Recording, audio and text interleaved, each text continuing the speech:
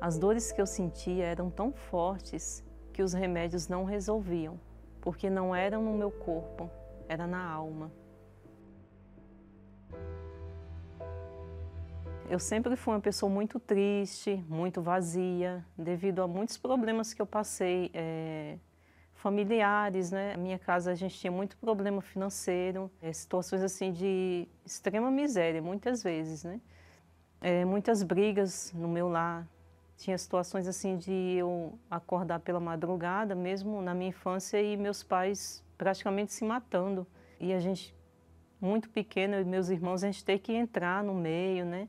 Então, esse, essas lutas, essas situações que eu passava, é, foram me levando a um quadro de depressão. Então, aquela tristeza que eu tinha desde a infância, ela foi aumentando. Então, quando entrei na adolescência, eu tive crise de depressão, eu fui diagnosticada pelos médicos, eu precisei tomar remédio.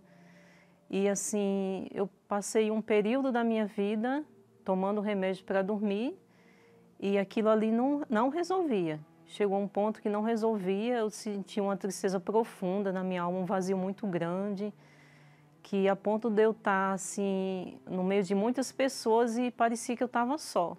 E quando eu dormia um pouco eu tinha pesadelo, então assim era realmente uma, muito difícil. Esse período da minha vida foi muito difícil. A gente teve um problema de doença, minha mãe ela teve câncer, foi, foi desenganada, né?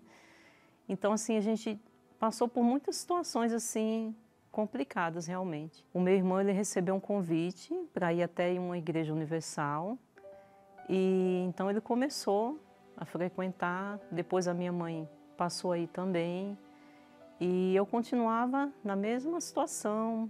E vendo a mudança é, na vida da minha mãe, do meu irmão, eu decidi procurar ajuda na Igreja Universal.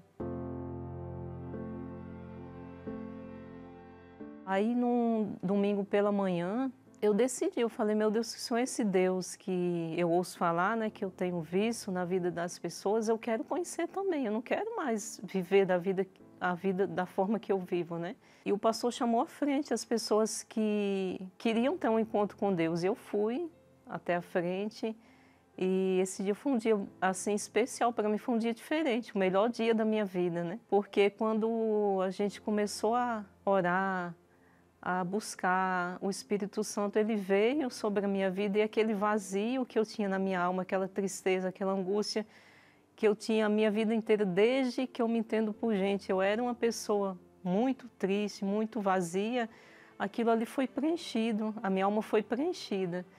E eu saí dali assim, sabe, com alegria que é inexplicável. Então eu já passei a, a, a viver é, uma vida diferente dentro de mim, né? E a partir daí as coisas foram mudando em volta.